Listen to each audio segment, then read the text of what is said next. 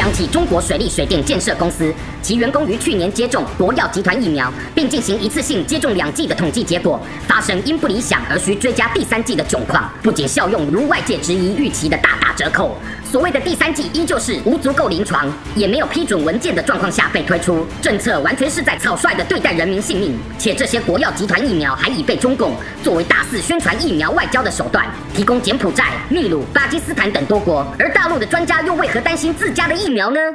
中国共产党不倒，人民生活不会好。上海疫苗专家陶琳娜曾上传疫苗说明书，针对数丸的副作用竟高达七十三种不良反应，严重的包括高血压、视力味觉减退、尿失禁等。她用倒吸一口冷气来表达震惊的程度，也直言这是世界上最不安全的疫苗。之后果不其然，此篇发文很快就被禁了。据调查统计，不仅大陆医护群体接种意愿低。一般民众里的女性及高学历者同样抱持疑，原因全无例外，就是害怕过多的副作用，以及因没有公开临床实证所成呈现的低抗效。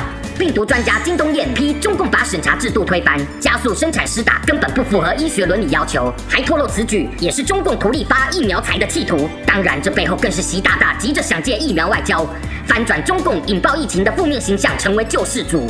但反倒让外界更看待世卫完全为中共站台。围观中共人大代表兼国药控股董事长，骄傲说，一年多前已亲身试药验证了高水平。此话被转发在官方中央广播电台的微博后，随即被众多大陆网民不留情面的吐槽。那时候政府不是才在训诫吹哨者李文亮吗？